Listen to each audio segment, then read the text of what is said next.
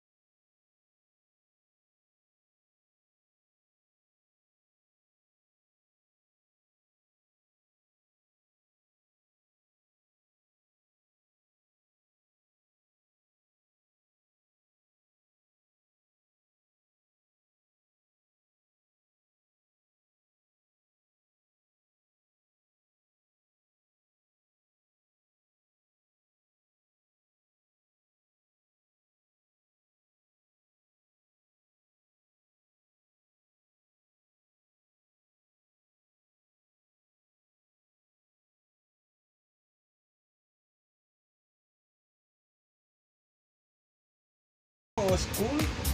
Or training? No bureau. Uh, no bureau. He doesn't have school.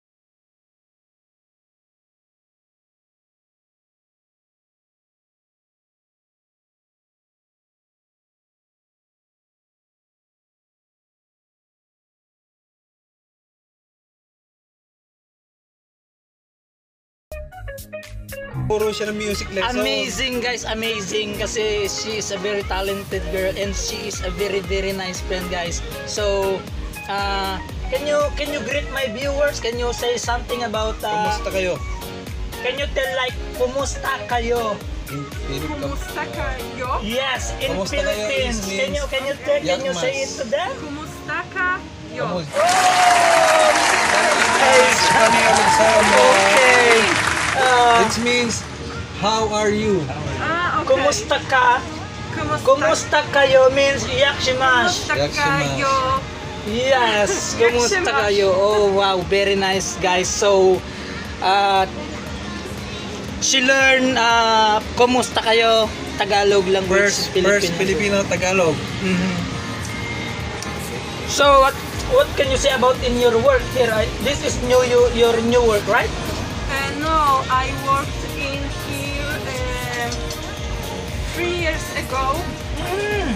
but uh, I am first time uh, about About, yeah, yeah, something around, some uh, about. Around, around uh, Aha, okay, wow. So, okay. So, can I get another only one this cola flavor? I like the cola flavor. in Polish, what is this? this Force Lotte uh, this smack, this Smack? uh, ice smack, cream. ice Yeah. cream lody. Lodi. Oh, lod- Guys, lodi. ice cream in Popolsko is Lodi. Lody gałkowe. Lodi gałkowe. Lodi gałkowe. Oh! Mm, guys! Very nice. He's very happy. Oh! Okay, guys. So, maybe tomorrow or maybe this night, I will. I will upload it in YouTube in my YouTube channel. So, I will send it in uh, my Okay. Thank you, my friends. Say bye-bye to my. Bye-bye.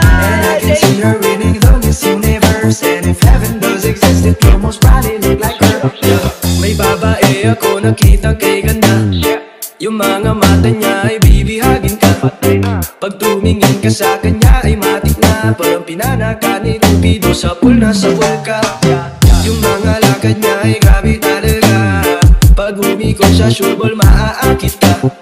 Dagdag pa dyan ang ngiti niya Pag tiningnan ka pa na sure